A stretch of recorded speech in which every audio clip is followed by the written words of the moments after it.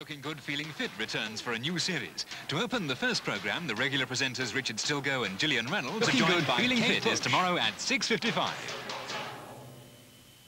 On BBC One tonight at 6.45, Holiday Report. Then at 6.55, the start of a new series of Looking Good, Feeling Fit with this week's guest star, Kate Bush, who keeps fit by dancing. Then you'll be looking good, feeling fit. We'll be looking at some of the ways the stars stay looking good and the agonies they suffer for us.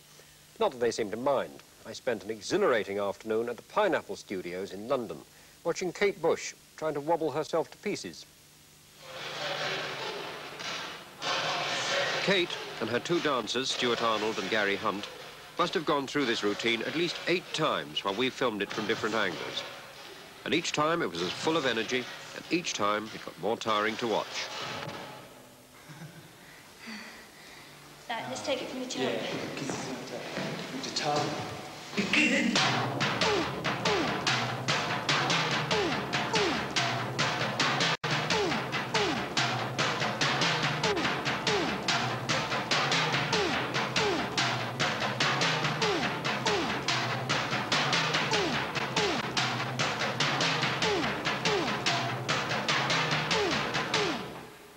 Now, to come to the obvious question, why are you wearing rubber trousers?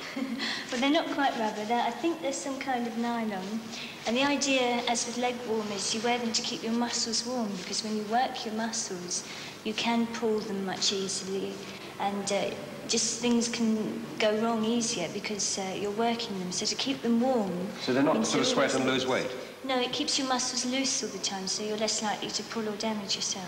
There must be a lot of, sort of stress on tour and a lot of pressure. Do you do yoga and things? No, I don't. I have considered doing that, especially recently, just because I, I can't get any sleep. There's not enough time in the day to do everything. Um, and I've had thought of TM. This seems to be the one that everyone considers the way to get over sleep. Um, but I haven't had the time. But at the moment you're relaxed by keeping going. Yeah.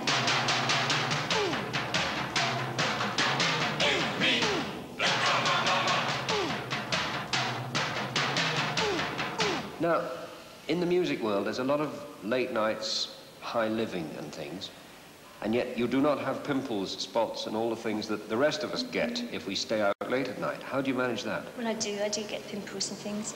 But uh, luckily, I found um, some creams and things that are incredibly good for my skin. And uh, I use them morning and night, and I seem to be okay. But I do get spots. Everyone gets spots. And I think, you know, being a female, the most important thing is to get the makeup off, because that can really ruin your skin.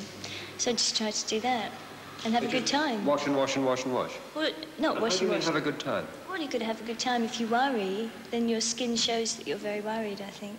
Everyone knows that. Have a good time. That's what it's for, isn't it, life? I mean, you obviously enjoy yourself and you're obviously very happy. Do you Yeah. think that is why you're a healthy person? I don't think I'm a healthy person. You see, I dance because I want to dance, not because I want to keep fit. And uh, it's just a sort of side thing that I happen to keep fit at the same time. I, I really like what I do, and I think, I think that's what it's all about.